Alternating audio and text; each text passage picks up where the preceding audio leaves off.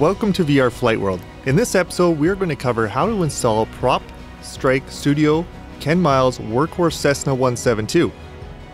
This Cessna 172 is unique with its dirty appearance and its large wheels.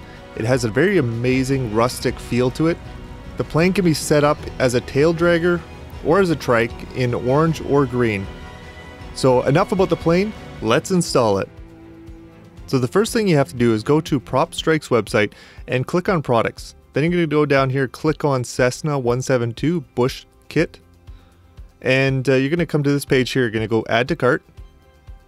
And then you're going to go to your checkout. You have to check out in order to uh, get this plane. And fill in your details here. You don't have to pay for it as a free plane, but you do have to fill in your details to get the plane.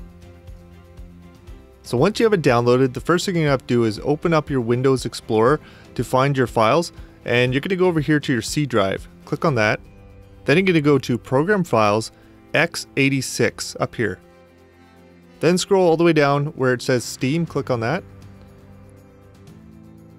And it's going to be Steam Apps. Then it's going to be Common. And then click on X-Plane 11. Now this is your X-Plane 11 folder. Now we're going to find the default Cessna 172. So first go to Aircraft, then click on Laminar Research, go to your Cessna 172 SP folder, highlight it and right click and click Copy. Click in the open space in the Laminar folder. Right click and paste that folder back in. This will create a copy of your default 172.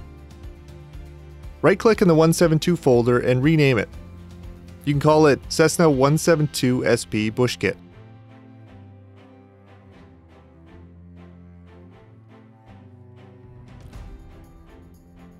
Now it's time to add the new plane. Find your download file and open it up. Make sure you have your file unzipped. If you can't get it to unzip, you can use a program like WinRAR and that will do the trick. Go into the Cessna 172 Bush Kit file, highlight everything and right click to copy it.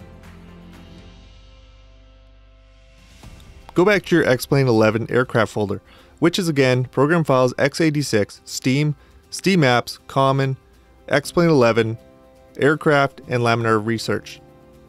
Open your new Cessna 172 Bush Kit folder, right click in any open area in the file, and click Paste.